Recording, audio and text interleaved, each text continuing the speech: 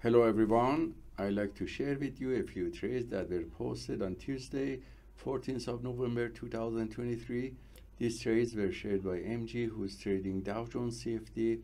As you see the macro chart is in uptrend and it reached an area of static resistance and the price initially got rejected. So using the trading chart, he identified this area for good entry for two sell short position with setup B and manage and close this with profit. And then when the price reached the dynamic support area he entered two long positions and managed and close them with exit strategy number two with profit. So thank you mg for sharing your trades with us.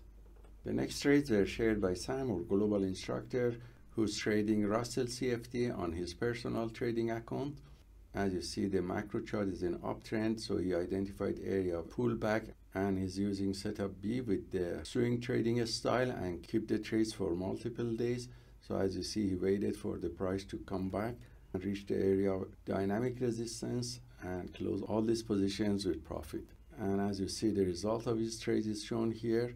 And we see that in less than two months, he raised his personal accounts from $1,000 to $13,000 consistently using the PAAT system and apply it to the swing trading style of trading. Thank you, Sam, for sharing all your trades on this personal account with us. The next few trades are those that I have taken during the New York market session, and the video with detailed explanation was sent to students yesterday, so I'm going to replay the video here for you. Hello everyone, I'd like to share with you the trades that I have taken today on Tuesday, 14th of November 2023. These trades were taken on Nasdaq, Dow Jones, and S&P 500 futures.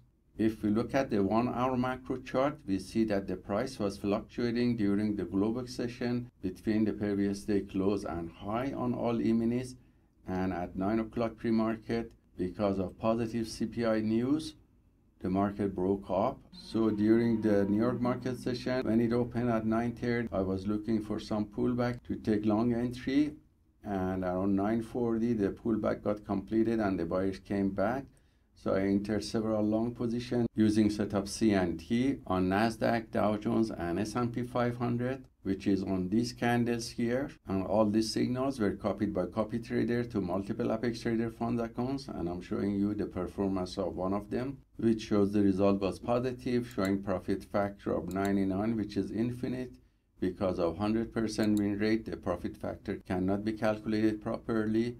And also average win to loss cannot be calculated but the average winning trades were $58 and the largest winning trade was $182 and also we had no daily drawdown. So I hope this trade taken by the PAAT system for fast scalping is useful for you and let us know if you have any questions. Have a wonderful day.